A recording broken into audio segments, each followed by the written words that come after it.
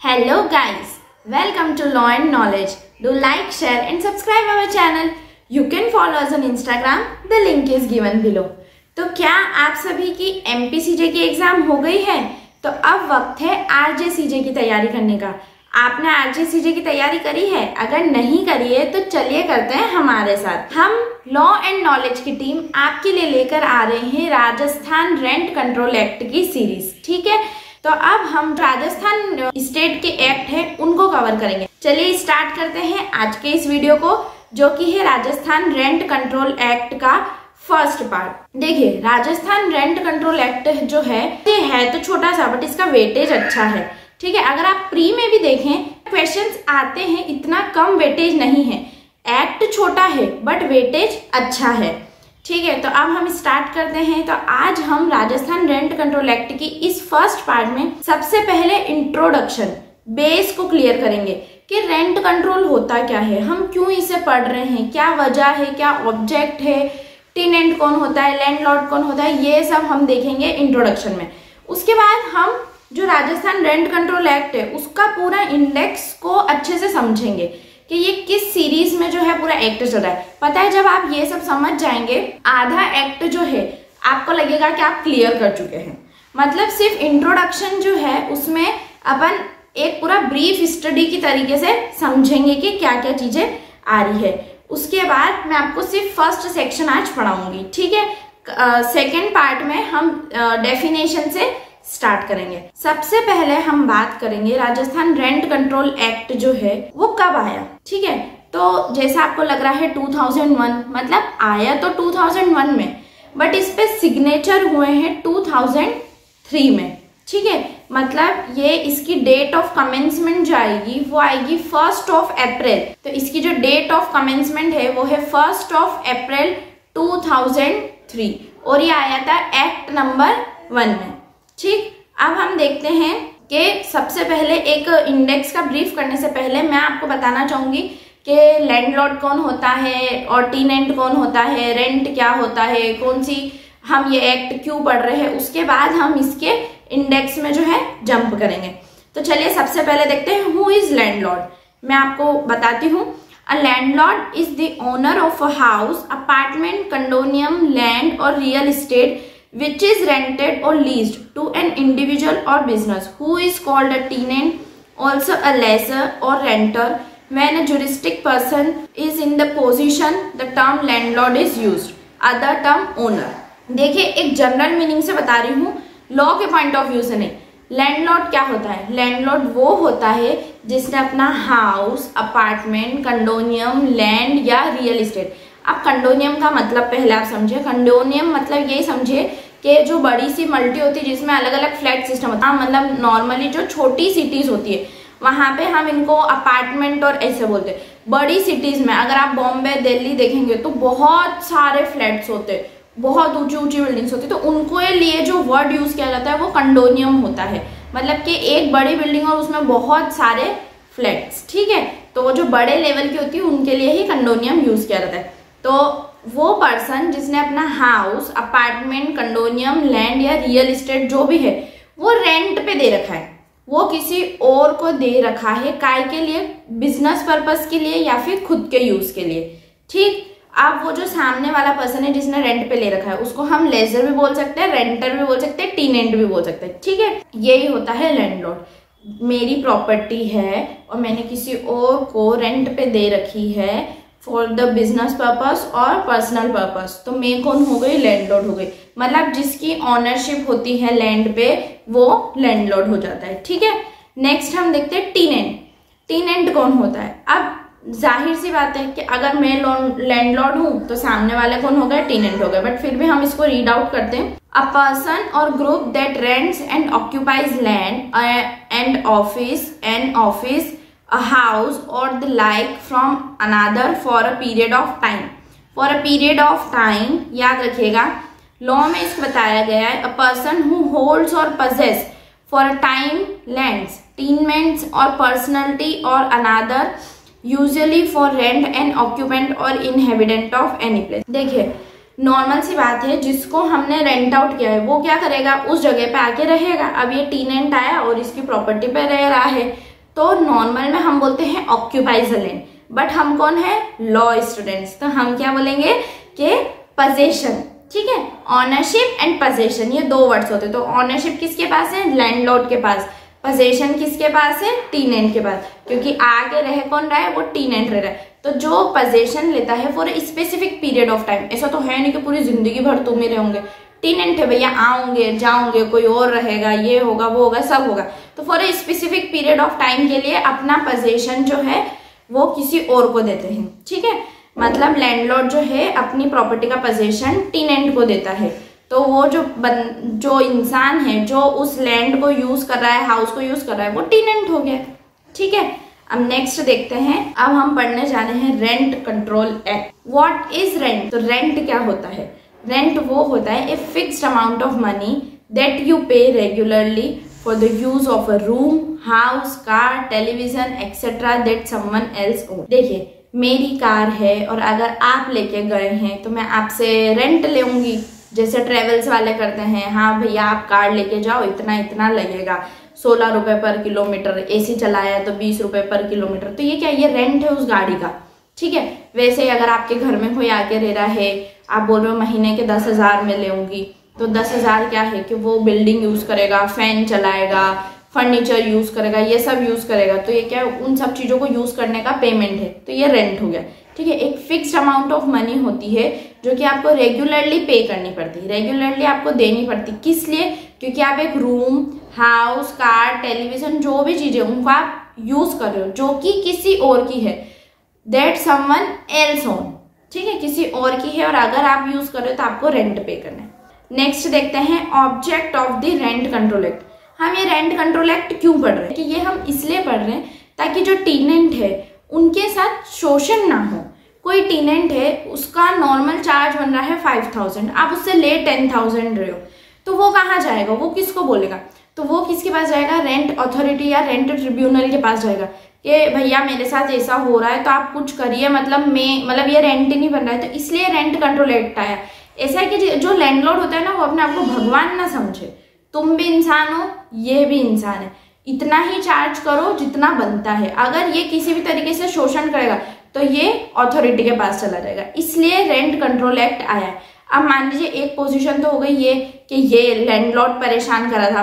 अब पोजीशन हो गई कि जो टीनेंट है वो परेशान करा कैसे? इनने स्पेसिफिक पाँच साल के लिए इनने एग्रीमेंट किया था कि तुम रह सकते हो। इसको सात साल हो गए, ये निकल ही नहीं रहा तो ये क्या करेगा? ये तो मतलब ना पैसे दे रहा है, ना निकल रहा है, ना कुछ भी नहीं। तो फिर क्या करेगा? ये जो है रेंट कंट्रोल अथॉरिटी के पास जाएगा और बोलेगा कि आप मुझे एविक्शन का लेटर दो? मतलब इसको निकालने का हक दो। तो मतलब दोनों के लिए है टीनेंट के लिए भी है और लैंडलॉर्ड के लिए भी। अब हम इसके ऑब्जेक्ट को पढ़ लेते हैं। It imposes various laws on the renting out of properties to help potential tenant in identifying and securing good rental accommodation ये हेल्प करता है टेनेंट्स की और सबकी कि वो एक गुड एकोमोडेशन रेंटल अकोमोडेशन जो है देख सके। अब उनको पता पड़ जाएगा कि नॉर्मल रेंट कंट्रोल एक्ट में क्या बोला गया है। हमको कोई ज़्यादा चार्ज नहीं कर सकता है, ऐसा नहीं कर सकता है, वैसा नहीं कर सकता तो अगर कोई कुछ करेगा तो वो उसके खिलाफ बोल देंगे। और जो गुड रेंटल अकोमोडेशन है, जो उनके लिए बहुत सही है और जो उनको लगता है हाँ सही है मतलब कोई घर उनको पसंद आ गया, बट रेंट ज़्यादा लग रहा है। तो वो बोल सकते हैं ना जाके मतलब गुड रेंटल अकोमोडेशन वो इस एक्ट के थ्रू पा सकते हैं। उसके बाद बताया है कि स्टैंडर्डाइज रेंटल चार्जेस मतलब जो स्टैंडर्ड रेंटल चार्जेस जो इस एक्ट में बताए गए हैं बाद में, वो ही उनको पे करने हैं। उसके बियॉन्ड अगर वो देंगे तो फिर वो रेंट कंट्रोल अथॉरिटी में बोल सकते हैं कि ये हमसे ज़्यादा पैसे ले रहे हैं। फिर है कि जो डिस्क्रिमिनेशन होता है टीनेंट्स के साथ कि उनको घर से निकाल दिया, बिना बोले, उनसे पैसे भी ले लिए और रहने नहीं दे रहे हैं ज़्यादा अमाउंट ले रहे हैं। किसी भी तरीके से उनको परेशान करा या डिस्क्रिमिनेट करना तो वो भी नहीं कर सकते हैं। ठीक, फिर बताता है कि रिस्पॉन्सिबिलिटी भी होती है टीनेंट की, ठीक है? अब वो घर में रह रहा है तो ऐसा नहीं है कि कहीं भी उसने दीवालों पे लिख दिया है या मतलब पंखा तोड़ दिया है फर्नीचर खराब कर दिया है, नहीं। क्योंकि टीनेंट अगर रह रहा है तो उसकी कुछ रिस्पॉन्सिबिलिटीज भी है और उसके कुछ ऑब्लिगेशंस भी है, जो उसको फुलफिल करनी ही है। ऐसा नहीं है कि जो रेंट आउटेड होम्स है, उनको बिल्कुल तुम ऐसा समझो कि मुझे तो दूसरी बार आना ही नहीं है तो मैं तो पूरा खराब करके जाऊँगा। नहीं, आपकी कुछ ड्यूटीज़ भी है कि उसको आपको मेंटेन रखना है, ठीक है? लास्ट देखते हैं, ये क्लियरली अभी तक आपको लग रहा है टीनेंट टीनेंट टीनेंट बट ऐसा नहीं है। ये लैंडलॉर्ड के लिए भी काम करेगा। लैंडलॉर्ड के लिए कैसे, अगर कोई टीनेंट उसे परेशान कर रहा है या घर नहीं छोड़ के जा रहा है, पैसे नहीं दे रहा है तो ये लैंडलॉर्ड की तरफ़ से भी काम करेगा ये एक्ट कैसे? उसको एविक्शन के लिए बोल देगा कि हाँ आप निकाल सकते हो, या बोल देगा कि आप पैसे ले लो। जो भी है तो ये लैंडलॉर्ड के लिए भी काम करता है। लैंडलॉर्ड को भी अपने राइट्स पावर ड्यूटीज़ ऑब्लिगेशन सारी चीज़ें जो है रेंट कंट्रोल एक्ट बताता है। ठीक है, आपको समझ आया? रेंट क्या होता है लैंडलॉर्ड क्या होता है टीनेंट क्या होता है, हम क्यों ये एक्ट पढ़ रहे हैं? ये एक बेस क्लियर हो गया है। ठीक है, अब हम नेक्स्ट जो है वो जो एक्ट में बताया गया है इंडेक्स का हम इंट्रो देखेंगे। देखिए इंडेक्स का जो इंट्रो है, वो मैं आपको बताती हूँ। राजस्थान रेंट कंट्रोल एक्ट 2001 इसमें कितने चैप्टर्स है? सेवन सेवन चैप्टर्स है थर्टी टू सेक्शन है और फोर शेड्यूल्स है। पहले तीन ही थे, अभी एक और ऐड किया गया है तो फोर शेड्यूल्स हो गए। ठीक है? कितने? Seven chapters thirty two sections and four schedules है। ठीक है, अब हम आगे बढ़ते कि इन सेवन चैप्टर्स में है क्या। ठीक है तो सेवन चैप्टर्स के नाम ऐसे हैं। Chapter one preliminary section one two five देखिए प्रिलिमिनरी जो है सेक्शन वन टू फाइव वो बताता है कि ये एक्ट कहाँ से आया है, ये कहाँ कहाँ लागू होगा। इस एक्ट में क्या क्या चीज़ें आएगी क्या क्या कवर होएगा, किस चीज़ की क्या डेफिनेशन है, ये sub section one two five में आएगा। ठीक है, मेरा नाम क्या है? रेंट कंट्रोल एक्ट 2001 मैं कहाँ कहाँ लागू होऊँगा? तो फॉलो ऑफ़ राजस्थान, ठीक है? मैं कब कमेंसमेंट में आया? तो जो ऑफिशियल गेजेट में बताया गया है, उस हिसाब से मेरे अंदर डेफिनेशंस क्या है? क्या क्या चीज़ें जो है मेरे अंदर कवर होएगी, वो बताया गया है। फिर बताया गया है कि किस तरीके से मतलब और प्रोसेस होएगी। ये सब जो है प्रिलिमिनरी में आता है। Chapter one preliminary section one two five अब आता है chapter number two chapter number two जो है, वो बात करता है रिविजन ऑफ़ रेंट की। भैया, है ही रेंट कंट्रोल एक्ट तो रेंट की बात तो करनी पड़ेगी। तो रेंट किस तरीके से लगेगा? ये सब बताया गया है चैप्टर नंबर टू इसमें सिर्फ़ दो सेक्शन है section six and section seven इसमें बताया गया है कि रेंट जो है किस तरीके से लगाया जाएगा। ठीक है? कौन सा अभी हमने पढ़ा था कि इसमें आपको स्टैंडर्डाइज रेंट बताया जाता है। तो वो स्टैंडर्डाइज रेंट जो है, वो कैसे फाइंड आउट किया जाएगा? कैसे कहाँ लागू होगा? तो ये सब रिविजन ऑफ़ रेंट में है। चैप्टर थ्री है पर्पस ऑफ़ टीनेंसी हम ये टीनेंसी क्यों करते हैं? हम क्यों किसी और को रहने देते और रहने देते तो क्या उसकी राइट्स है ड्यूटीज़ है, उसके क्या ऑब्लिगेशन है? ये सब चैप्टर नंबर थ्री में है, जो कि ये सेक्शन एट से सेक्शन टेन तक। ठीक है, अभी तक आया समझ प्रिलिमिनरी जिसमें वन टू फाइव है। मैं कौन हूँ, कहाँ से आया हूँ कहाँ कहाँ लागू होऊँगा कौन कौन मेरे अंदर कवर है। फिर है रिवीजन ऑफ़ रेंट जो कि है चैप्टर टू उसमें जो है रेंट कैसे कैलकुलेट होगा रेंट क्या लगना चाहिए, कहाँ कितना लगना चाहिए, ये सब आपको बताया है। पर्पस ऑफ़ टीनेंसी में है कि टीनेंट को हम क्यों रख रहे हैं, क्या वजह है, कितने टाइम के लिए रखेंगे। पूरा एक जो एग्रीमेंट के अंदर टर्म्स होती ना, वो सारी पर्पस ऑफ़ टीनेंसी में आप मान सकते हैं। अब देखते हैं chapter number four illegal eviction देखिए चैप्टर थ्री में पढ़ा पर्पस ऑफ़ टीनेंसी उसमें बताया कि आपको ऐसे ऐसे रहना है, इतने टाइम का एग्रीमेंट है ये वो। अब वो मान नहीं रहा है टीनेंट तो क्या करेंगे? इलीगल एविक्शन ठीक है? उसको घर से निकाला जाएगा फिर। ठीक है? मान लीजिए, एक तो नॉर्मल एविक्शन हो गया कि हाँ भैया, आप घर से निकलो। इलीगल एविक्शन तब होगा जब वो जो टीनेंट है, वो कुछ इलीगल काम कर रहा है। मानो बिना रेंट दिए रह रहा है, कर रहा है, या फिर इलीगल एक्टिविटीज़ कर रहा है तो उसको निकाल दिया जाएगा। चैप्टर नंबर फाइव में बताया कॉन्स्टिट्यूशन ऑफ़ रेंट ट्रिब्यूनल कि रेंट ट्रिब्यूनल का कॉन्स्टिट्यूशन कैसे होगा? अपॉइंटमेंट कैसे होगा? रेंट ट्रिब्यूनल को क्या क्या पावर है? क्या उनकी अथॉरिटीज है? वो क्या जजमेंट दे सकते हैं? वो जो भी उनकी प्रोसीजर है, वो सब कॉन्स्टिट्यूशन ऑफ़ रेंट ट्रिब्यूनल में बताया गया है। ये है सेक्शन थर्टीन से सेक्शन ट्वेंटी टू तक। इसमें दो और है चैप्टर फाइव है और फाइव भी वो मैं आपसे बाद में डिस्कस करती हूँ। पहले अपन नॉर्मल नॉर्मल सा एक रीड कर लेते फिर चैप्टर सिक्स आ गया एम्यूनिटी सुख सुविधा। कि अगर आप रेंट पे रह रहे हैं तो आपको कुछ सुख सुविधा लेने का भी हक है।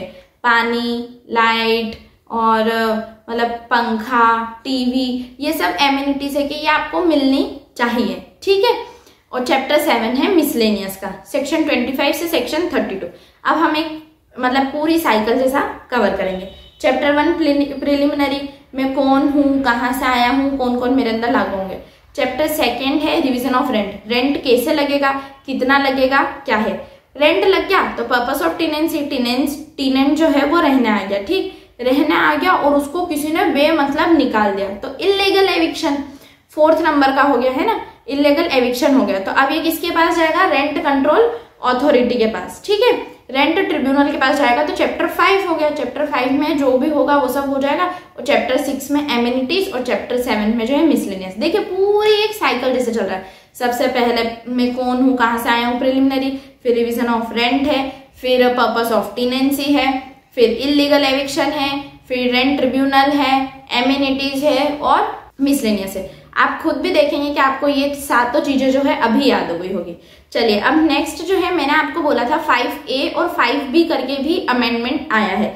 तो देखिए, जो चैप्टर नंबर फाइव था, वो था constitution of rent tribunal rent tribunal कैसे बनेगा? तो उसके अंदर जो है सेक्शन चैप्टर फाइव ए को इंक्लूड किया गया है। उसमें है अपॉइंटमेंट ऑफ़ रेंट अथॉरिटी कि जो रेंट अथॉरिटी है, उनका अपॉइंटमेंट कैसे होगा? कौन कौन लोग जो है अपॉइंट होंगे?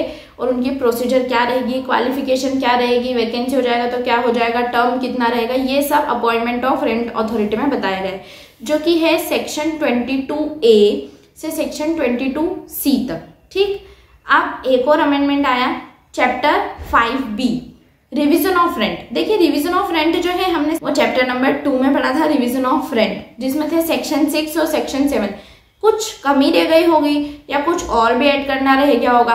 तो इसलिए वो आ गया फाइव बी में। चैप्टर फाइव बी में वापिस से रिविजन ऑफ़ रेंट आया है, जिसमें है सेक्शन ट्वेंटी टू डी से ट्वेंटी टू जी तक। और ये कहाँ कनेक्ट होता है? Chapter number two section six और सेक्शन सेवन चलिए, आपको आया समझ इतना।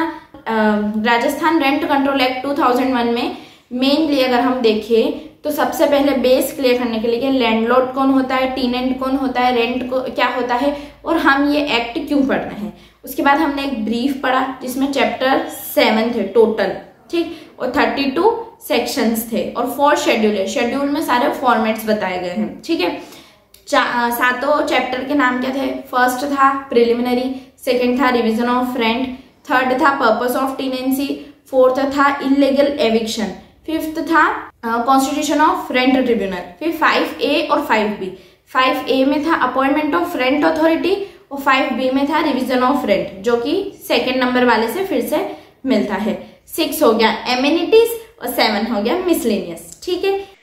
अब हम पढ़ लेते हैं section one short title extent and commencement first point this act may be called Rajasthan rent control act 2001 इस एक्ट को हम राजस्थान रेंट कंट्रोल एक्ट 2001 बोलेंगे।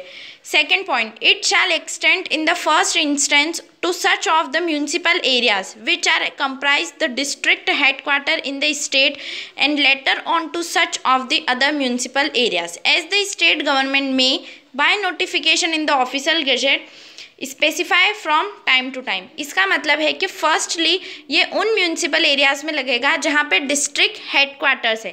राजस्थान में जहाँ डिस्ट्रिक्ट हेडक्वार्टर्स है फर्स्टली उन म्यूनसिपल एरियाज़ पे ये लगेगा।